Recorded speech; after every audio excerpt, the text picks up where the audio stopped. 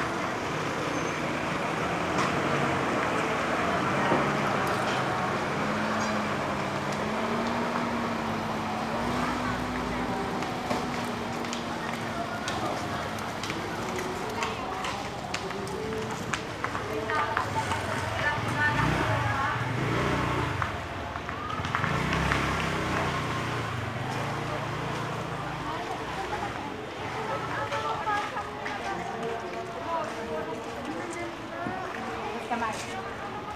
Okay? Kung mag-aaral na. Ang gusto mo po, meron po kami free cellphone. Wala kang babayaran kahit piso, kaya lang wala kami face to face. Online na po at saka digital. Yan lang po kami barangay. May address po yung Opo, meron po kami. Meron po akong form. Dito po kayo susulat. Lalagyan niyo po ng birth certificate ng bata. At saka 15 na by one by one. Papasa na